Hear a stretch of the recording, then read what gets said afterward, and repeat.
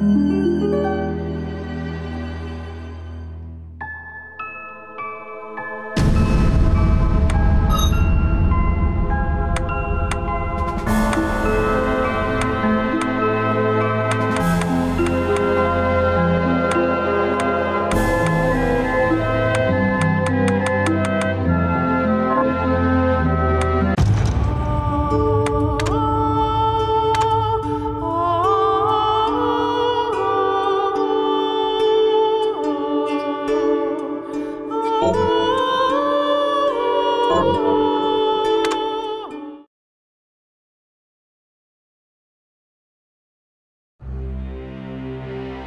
Industrial Revolution ushered in a new era that threatened to transform the values of men. No longer would spirituality be their compass, but not all welcomed the change.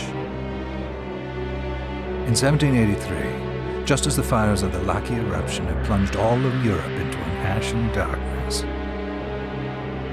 a horde of demons spilled from the shadows and fell upon city after English city. It was a message. The Alchemy Guild, fearing the rise of industrialism and abandonment by their wealthy patrons, had done the unthinkable to defend their existence.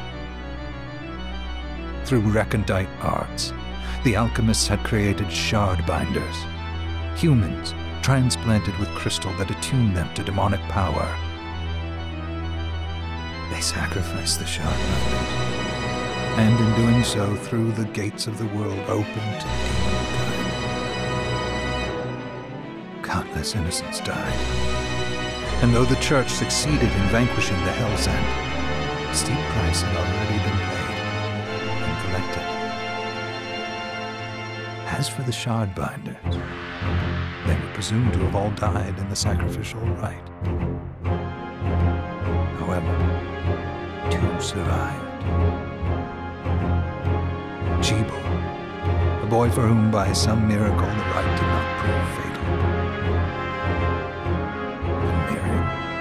A girl who was spared the rite altogether on account of the strange slumber that took her just before it could begin.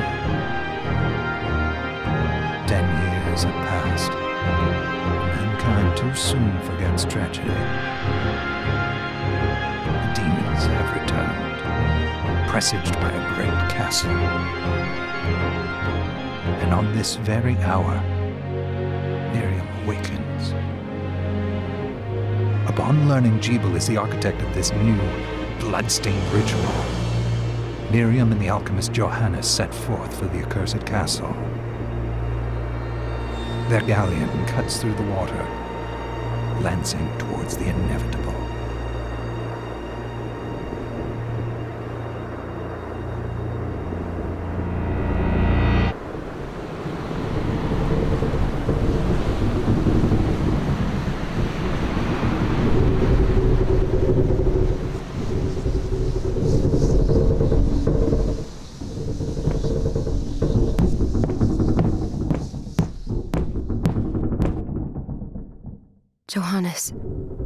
Are you certain it was. It was Gebel's doing, Miriam. No mistake. It's so hard to believe. I wouldn't even be alive if not for him. I know. I know how you feel. But the facts are apparent.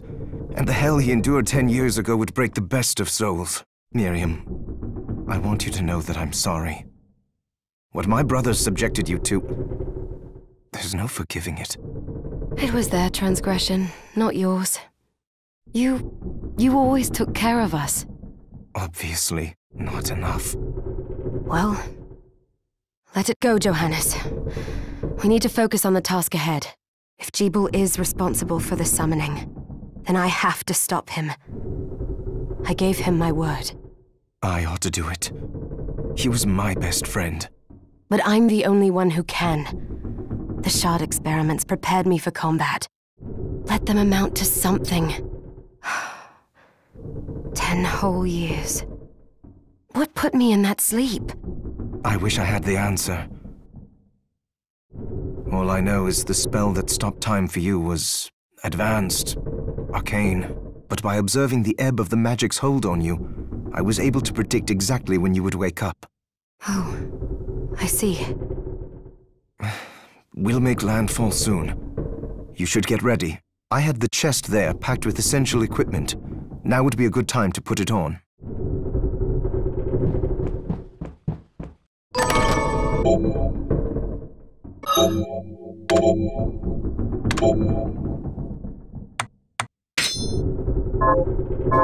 Good. You're prepared. The next order of business is to... I'll take care of it. Ah!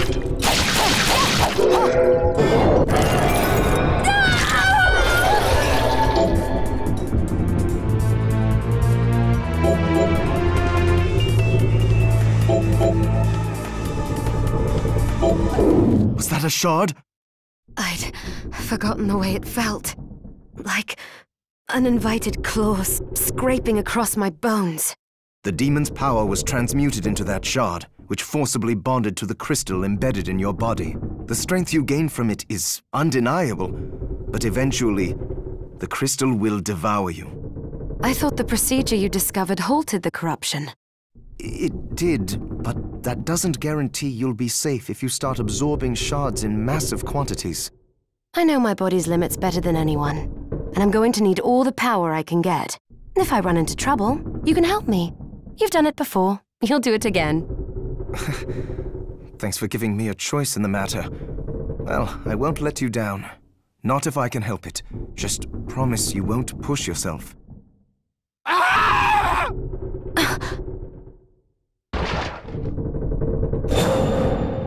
How did they get inside? The demons from the castle must have infested the ship. Then they can help me wake up these muscles of mine. I'll wipe the deck with them.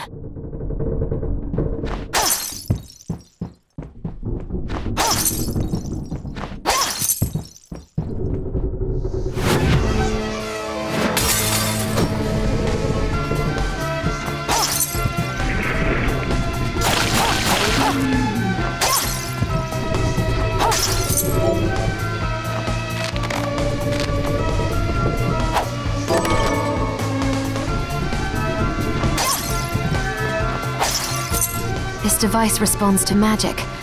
Maybe I just need to hold my hand up to it.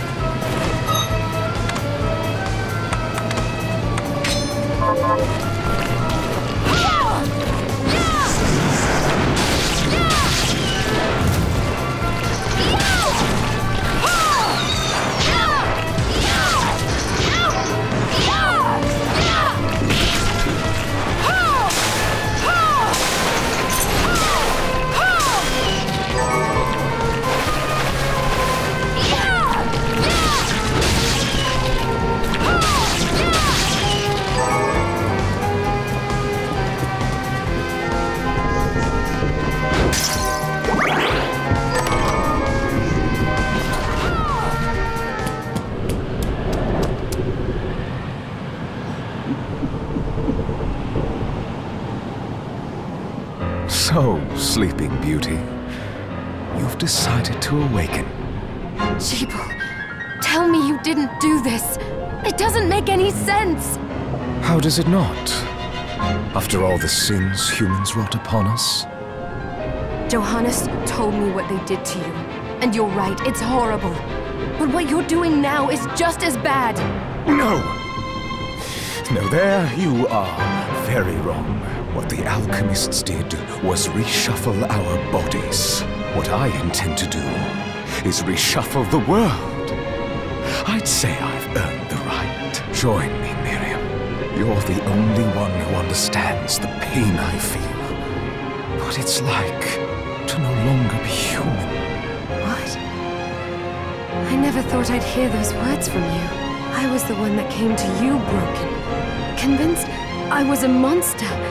And you told me... This is nonsense! You told me our power doesn't make us good or bad. Our choices do. I'd given up on my humanity, but you restored my hope. Don't you remember? Master Gebel, we must return. Yes. Miriam, I tire of reminiscing with you. You're here to kill me, aren't you? Then first prove you can find me. Along the way, you'll have no choice but to absorb shards and avail yourself of the powers of hell. If you can still claim to be human at the end of it all, then perhaps I might be more inclined to listen. Come, Gremory. We're leaving.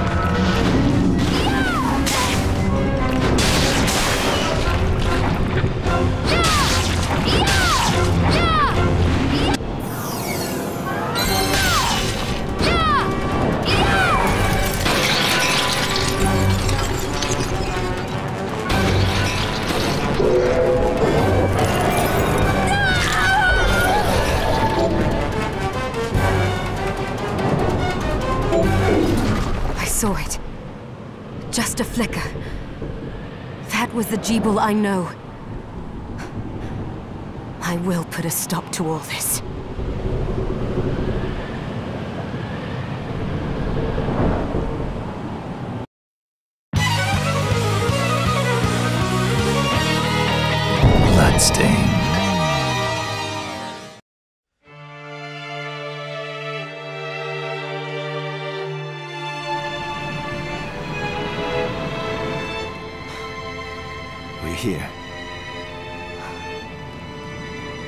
Was this a village?